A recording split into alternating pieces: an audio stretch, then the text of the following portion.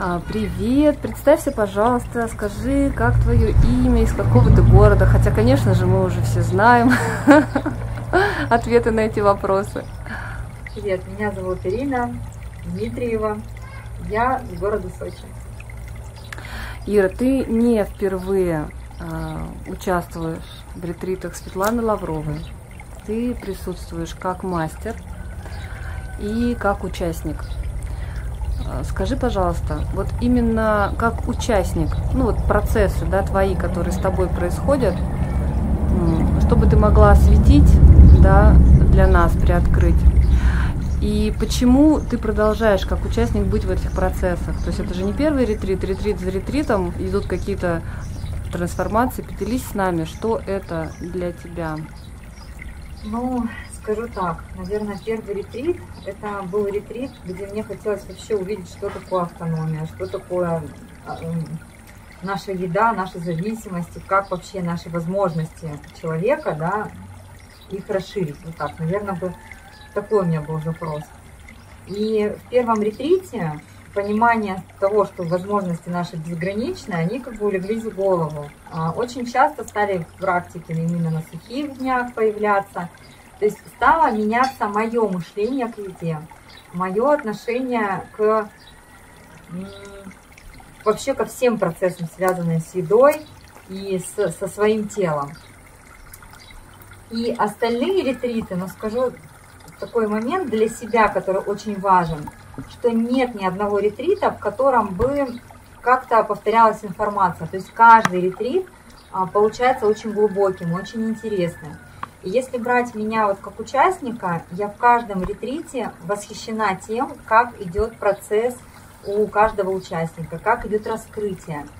А, и понимаю, что каждый ретрит все лучше и лучше, все глубже и глубже. И такие раскрытия как будто бы приходят мощнее люди, и раскрытия такие ярче происходят. И меня, наверное, вот это больше всего и радует, что я вижу глубину ретритов, какая есть. То есть нет ни одного ретрита, где есть материал от головы. То, что я люблю, да, когда он идет из потока, из поля Светланы, это совершенно другое. Это соединение с чем-то большим, нежели от ума что-то вещать. И вот именно это дает сонастройку с каждым участником, то есть нет ни одного участника, который уезжает не раскрытым, не допонятым. То есть идут пласты осознаний, у каждого происходит такая трансформация, глубина, что вот прям как на до и после, я всегда говорю, можно поделить. Фотография надо на входе делать, и после, когда человек уже в осознанности, в понимании себя из глубины видения, да, он соединяется с собой, он познает себя прям не поверхностно, да, а он раскрывается на каждом ретрите. Поэтому ретрит каждый дает такое уникальное раскрытие.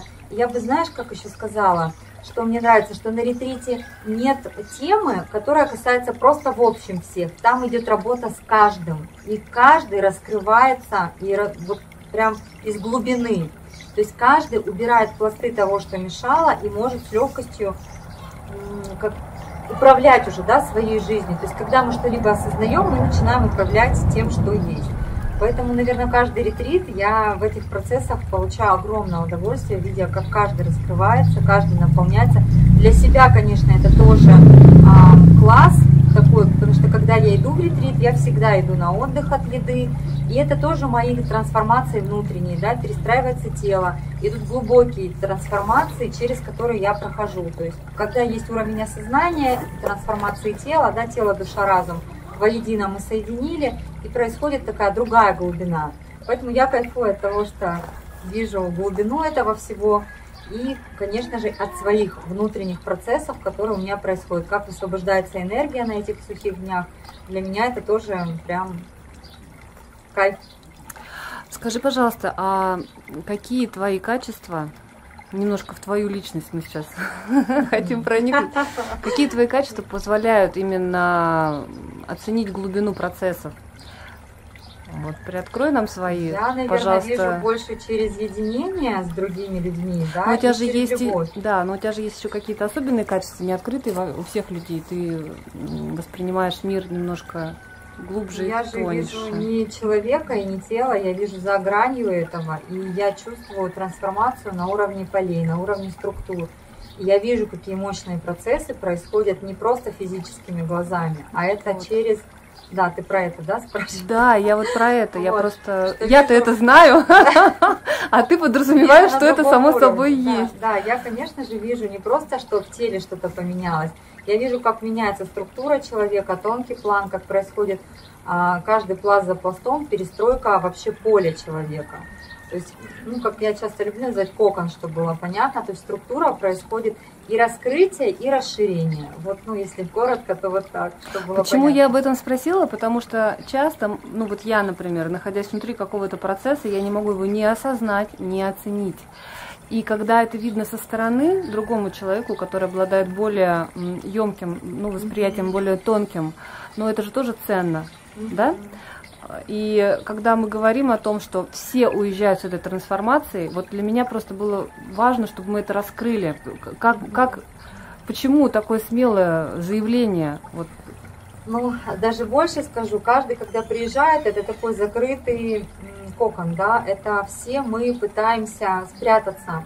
А на ретрите происходит, когда человек уже пришел со сознанием «я хочу», «я хочу раскрыться», то здесь как бы вот этот грецкий орешек, он скрывается. И что происходит на ретрите? Взращивание из этого орешка, что нам шкарлупа больше не нужна, нам не нужны маски, иллюзии. Мы смотрим правде в глаза.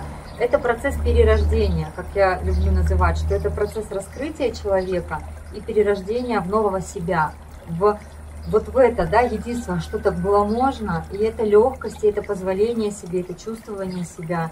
Поэтому это процесс гораздо глубже, чем, да, смотреть глазами.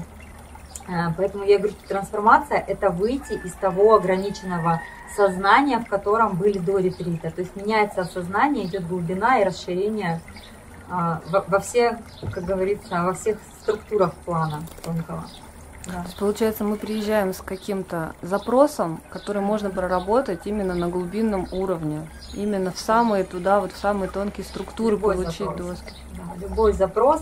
Иногда за одним запросом скрывается очень много пластов, которые нужно поднять, вычистить, чтобы оттуда пошло вз- взрастание, да, чтобы оттуда, а, как говорится, раскрылась эта сила, раскрылся у каждого потенциал. То есть это тоже такой непростой да, момент, когда достаешь оттуда и взращиваешь. То есть на ретрите происходит это раскрытие, да, основной момент. Во-первых, поле помогает, что человек сам никогда так не раскроется, не раскроется на одной, на второй консультации, а здесь поле. Поле проводников, да, это самое главное. Поле людей, это очень круто. Мы все друг для, для друга зеркала. То есть, если человек сам себя не увидит, он увидит себя в другом.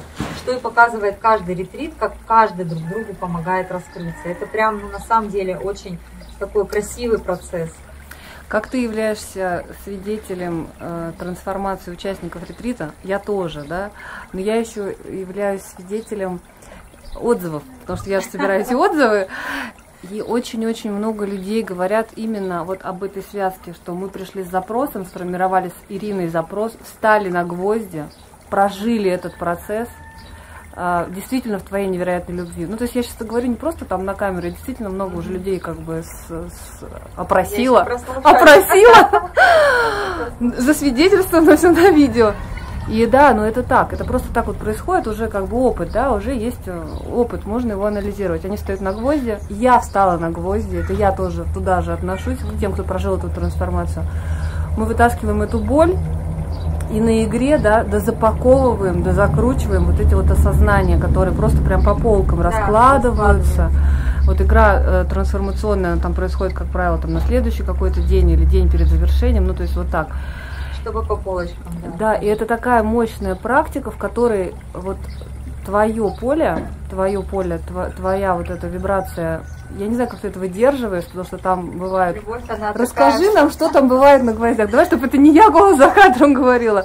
Что бывает, когда ты ставишь человека на гвозди? Ну, гвозди для меня это немножко авторская практика, то есть это не просто встать на гвозди от ума и преодолеть боль или какая-то аскеза. Гвозди это процесс, который высвобождает нас как раз-таки на энергетическом уровне и раскрывает наш потенциал. То есть когда мы идем на гвозди, я работаю в трех структурах. То есть это и энергия, да, и прочищение, то есть я с энергией эм, земли работаю, ладно, лавы, огня, то есть, да, вот прочищая снизу. Но, конечно, я все делаю через любовь. Это самая высокая вибрация, поле любви, которое я стараюсь мощно направить да, в этот процесс, оно дает возможность выстоять на гвоздях не из боли, то есть мы стараемся разъединиться с болью, уйти с тела, да, то есть весь поток, который поддерживает на гвоздях, на гвоздях он помогает вычистить это все и собрать свою структуру по новой. То есть мы не можем, когда сосуд сжат, что-либо впустить. Поэтому наша задача на гвоздях расслабиться. Вот это я делаю из любви, идем в расслабление, в принятие, в соединение с собой и в наполнение. Ну, то есть, если кратко, это вот так. Вот.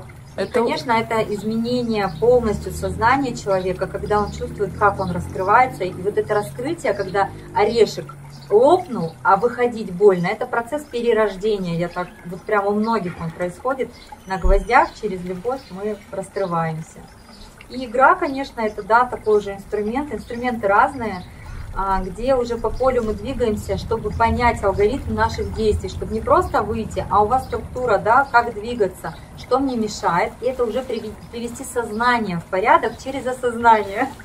Вот, то есть, когда мы что-либо осознаем, у нас в сознании укладывается все по полочкам. То есть если мы не осознаем, то это будет нами управлять. А когда мы приходим в осознание, видим эмоции, видим наши страхи, как убирать, конечно же, да, все практики я рассказываю. Вот как только мы это осознаем, мы можем этим легко управлять. Мы это уже видим. И через игру мы, мы видим уже, как управлять своим сознанием, как с собой договариваться. То есть через наблюдение и игру очень хорошо все встраивается. Я, знаешь, еще хотела о чем поговорить. То есть мы же еще друг за другом наблюдаем. Ты за мной, да. я за тобой. Да-да. На предыдущем ретрите ты пила травки, по-моему, какие-то, да? И тоже отдыхала от еды. У меня была трансформация очень сильно на, на, на предыдущем. костей. Угу. Я пила мяту, я тоже выходила в сухие, но так как трансформация внутри в позвонке у меня, у меня целый год эти процессы были, то есть как только я заходила в неведение, эти процессы запускались. И мята, она позволяла немножечко снизить спазм. Вот. Э, я травки как таковые не пила, я старалась держаться. Мята, да. Мята, да, она вот давала мне вот эти послабления. Опять-таки, Света, что делать? Все ломит, мята пей. Вот. А сейчас уже как бы вот на сухих, да, опять-таки есть где-то захотелось мне выпить родника, то есть Светлана прекрасно подсказывает, как инструкции к применению, да, что где сделать, э, какие моменты, как остановить, как запустить, можно ли вот сейчас. И это опять-таки из позволения себе, из принятия, из легкости, не из жесткой аскезы, да, что захотелось мне глотнуть водопад родника и озера, и две реки. Ну, можно сделать это на сухом. Все, собственно, это и сделано. Я просто была свидетелем твоей включенности в практиках. Ну, я говорила, да, тебе уже это? Да. Для меня это был такой, ну, ну, вау. Вот. И я при этом знаю, что ты на сухих, и уже сегодня какой седьмой или девятый восьмой. день? Восьмой, да? Вот сегодня восьмой день. А, у меня же тоже в голове происходит трансформация. Вот человек на сухих не ест, не пьет. Ладно, не ест, это как бы у меня уже все нормально уложилось. Не пьет.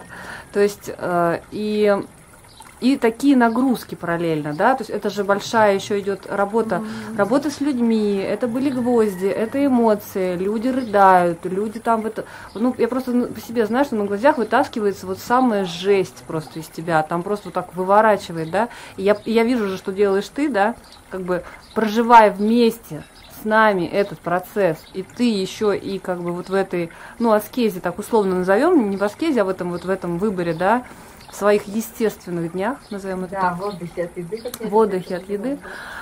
И вот как вообще тебе это было? Как? Ну вот смотри, я скажу так, когда трансформации в теле нет, наоборот, энергии больше. То есть когда ты ешь, ты заглушаешь уровень энергии.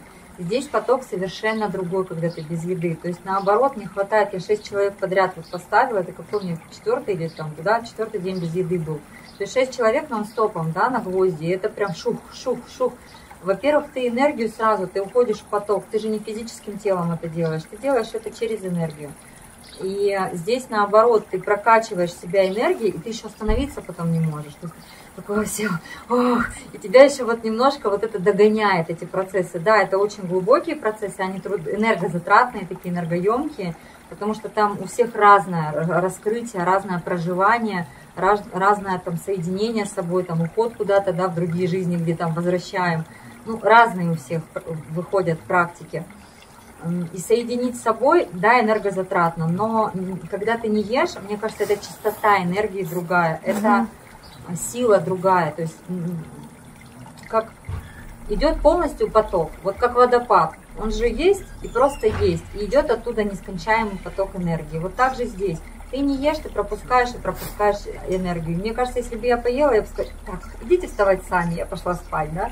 Ну, то есть какие-то наоборот, я не отвлекаюсь на, на процессы переваривания, я не отвлекаюсь на процессы пойти поесть. Я полноценно, полностью с людьми, да, в практиках и включена там. Все. Но при этом я знаю, что ты в автономию не собираешься. Нет. А еще почему я про это спрашиваю? Знаешь почему? Потому что ну, вот у нас есть Света. Ну, да. как бы уникальная история, да? Да. есть, второй Света это нет и не будет. Ну, Все, никто не претендует. своя история, да. И мне да. просто вот хочется, вот, что, что происходит вот у нас, да, когда мы пробуем а, вот эти методики, эти техники, ее знания, вот ее как бы видение. Вот смотри, Света чем уникальна, что она прошла огромный путь огромный путь, который ей позволяет вести других. И неважно его уникальность, она знает уже все, потому что она прошла и то, и то, и то, и то, методом своих проб и ошибок. То есть ей не кто-то сказал, как сделать, она тыкалась, да, много лет, как вот здесь, как вот здесь. И поэтому это ларец знаний, да, который может при любом моменте, там, что происходит, проконсультировать и рассказать. У меня не было запроса уходить в автономию, у меня был запрос уйти в малоедение, то есть, чтобы я не зависела от еды. Для меня очень важно не уходить в зависимость, чтобы я не была в этой матричной системе управляема, да. Едой, как бы, еда это первое управление нами, еда это первое получение эмоций, что через еду люди питаются эмоциями. Для меня эмоции это вот мир, это красота, я питаюсь этими водопадами, вот Алтаем, горы, вот, вот это еда. Еда, можно сорвать ягодку, попробовать вкус, и просто это наслаждение, которое разливается по телу. Ну расскажи нам про это наслаждение. Знаете, мы, мы вот сегодня сейчас мы на Алтае же, и Айрин, так как она коренной житель гор, сегодня она увидела первый раз черемуху и сказала, что это? Ну, для меня это было открытие. Хоть сухие, не сухие, то есть ты берешь эту ягоду, ты соединяешься с этой ягодой, ты соединяешься просто с энергией Алтая, да, любая ягода, которую ты впервые в жизни пробуешь, это же кайф, вот оно питание, когда ты соединяешься с этим плодом, не чтобы его там съесть судорожно, а чтобы ты его вот впустил наслаждение, чтобы ты впустил эту информацию от плода в себя, энергию Алтая, хлебнул этой родниковой воды или водопада, эта информация, вода несет информацию. Почему я говорю, что я хоть и на сухих, я не смогла не глотнуть там две реки, там водопад, родник, озеро. То есть я все сглотнула. Выпила весь Алтай. Да, я насыщена при этом. То есть мне не важно вот это как галочку было воды, галочку. Угу. Мне важно было соединиться с той информацией, которая здесь. И любая ягода, что-то я еще сегодня черную смородину, а, как не да. съесть в диком Алтае, там кусты черной смородины, да в как лесу это в диком, не да. И это именно вкушение вот вот это наслаждение. То есть тут не процесс поесть, тут процесс насладиться, соединиться, прочувствовать. И вот это самое яркое, чем мы можем питаться. Солнышко, вот, ну, вот все это, вся эта красота, и просто когда ты сидишь в горах, видишь эти озера, и ты такой, и вдыхая в себя, ты прям ешь эту природу, ты прям в наслаждении от нее. Поэтому для меня еда это вот сейчас уже не про зависимость. То есть у меня уменьшилась а, вообще изменилось отношение к еде благодаря ретритам, уменьшилось количество приема, уменьшилась потребность вот не потребность жрать. Прощаем, мы знаем, что это такое. Вот. Есть потребность попробовать, вкусить. Я могу съесть и отставить в сторону. Вот я не хочу больше, да, вот. То есть совершенно меняется восприятие. То есть один раз в день можно поесть. А у меня как бы цель уходить в такое, что просто раз, два, три дня перекусил, что не то, что перекусил, а вкусил. Вот мне прям вот это идет, да, что я вкусила ягодку здесь, ягодку там, кусочек арбузика там, я не знаю. Хорошо, захотелось мне съесть мясо, да я его съем. Я его съем, если мне захочется. То есть здесь про интуитивное чувствование себя, не уходить в крайность. Автономия для меня это переход когда что-то сложно, и нужно из этого выбраться, да, и нужно перейти вот из крайности болезни, да, как какой-то, или вот из крайности не как познать себя, да, прям уйти в автономию, в аскезу жесткую, а как вот э, перейти, допустим, я знаю много случаев, да, где онкологические заболевания, то есть это вот на практике, в общении, в ретритах, сколько все люди делятся, как излечиваются заболевания. Просто потребности вот такой нет, длинной автономии, а есть просто вот такие циклы, когда я ухожу там на 7, на 11 дней. Я прекрасно себя чувствую. То есть сегодня восьмой день, и великолепие, и кайф, и мы уже сколько пробежали, сходили, прогулялись намассажировались. Общем, все да, я жизни. тоже вот хотела это отметить, что кроме вот этой нагрузки с работы с людьми, да. ведь мы же еще очень много передвигались сейчас пешком. Да, и горы, и озера, да. И как ты себя вот в этой физической нагрузке а, ну, прочувствовала? Если брать солнце, мне тяжеловато идти в гору на солнце. Для меня сложно. Я всегда говорю, что если будет солнечная, жаркая погода, я прям буду выходить на, на воду. Ну, то есть, как, как даже вот Светлана говорит, да, надо запустить процесс 3-4 дня не есть, не пить. И потом дальше, если тяжело, то лучше выпить 2-3 глотка воды и пойти дальше, чем сорваться и начать пить. То есть, когда мы пережимаем пружину, мы сразу отлетим и пойдем наедимся, потому что у многих так. А почему вот сразу захотели и наелись, объелись, когда выходим? А потому что пережали. Угу. А потому что не из любви к себе, не из поддержки себя. Что я же не делаю галочку, нет, нельзя есть. Конечно, да. Я пошла и там вот захотелось мне, понимаю, что сегодня будет баня и травы алтайские. Ну это же вообще как это? Еще одна баня на Алтай с травами. Поэтому тут не про ограничения, а про я понимаю так, какие процессы идут, какое клеточное обновление запускается на, на сухих днях. И даже если мы идем по чуть-чуть, мы идем. Мы знаем цель, мы не дорываемся сразу, а идем из любви к себе. Вот сегодня один день, мне когда даже захожу, мне говорят, ты на сколько? Я говорю, Бог его знает, может быть день, а может быть 20. Вот как пойдет. Обычно в конце, в завершении интервью, я задаю вопрос о том, что бы мы хотели э, пожелать новым участникам, новым. Ага. А вот в этот раз мне почему-то пришло, знаешь, какое такое видение, что простроить самим себе намерение, да, что я пожелаю сама себе вот после этого ретрита с тем, с чем я из него выхожу. Что ты себе желаешь? Куда ты свои намерения простраиваешь? Я желаю жить той жизни, где возможно все, в которой я нахожусь сейчас и в которой я планирую жить вечно. Вот, где легко, где в любви, где в изобилии. И мне хочется, чтобы каждый в этом жил. Мне хочется, чтобы каждый шел в свое расширение. И я в это расширение все равно я ухожу каждый раз, отлетаю и выхожу в новые пласты себя, в новое восприятие других миров, других осознаний это гораздо глубже и выше. То есть, когда ты выходишь из уровня материального мира, и из уровня восприятия себя просто человек, ты улетаешь туда, и там столько интересного, и ты понимаешь всегда, что ты там видишь все в начале пути. Поэтому я желаю себе расширения, чтобы это расширение помогало через меня нести эту любовь к вам. Ириш, слушай, ну вот я тебя знаю так немного, да, на каком-то вот уровне, знаю, что ты э, и социально реализованный человек, э, успешный, и духовно реализованный человек, в творческом, да, потоке да. свои многие вещи, они как бы раскрылись через тебя, пришли. Баланс, да. Баланс. А вот, то есть материальное, материальное и духовное баланс это тоже вот ты несешь э, нам угу. своей жизнью. Вот в связи с этим у меня вопрос: как ты считаешь, а, вот ты такая прокачанная, реализованная сама, угу. да? Вот двигалась бы ты последний вот этот год, который ты двигаешься со Светой одна, э, и двигалась бы ты вот так, как ты двигаешься. Какова разница? То есть, может быть, тебе бы, в принципе, никто не нужен, но ты же, смотри, ты крутая. Говорюсь, есть состояние вот этого единства. Вот знаешь как, мне и так хорошо, и так хорошо, но есть же вот, ну, я руководитель бухгалтерской компании, и уже это 20 лет у меня бизнес, да, Сочи, Симферополь, просто чтобы было понимание, немножко разрез шаблонов, есть онлайн-школа, есть изданная книга по бухучету, да, и мне и там хорошо, я и это люблю, я это тоже люблю. Да, мне классно проводить игры, да, мне классно ставить на гвозди, но когда есть вот это комьюнити, когда есть ретриты, и когда ты их проводишь не один, а когда ты совместно поле объединяешь, это другое. И для меня я прям понимаю, что я не хочу одна быть в ретритах, потому что всегда нужен второй человек на таких же вибрациях, как ты. Ты раз с ним, и ты сильнее становишься, ты умножаешься. И благодаря вот этому умножению эта сила еще больше раскрывает людей. Для меня это вот так. То есть я понимаю, что мне одной, у меня это все есть. А когда ты объединяешься и видишь вибрационно ну, свою родную душу, да, своего родного человечка, Светоньку, я, конечно, из любви понимаю, как это красиво происходят процессы.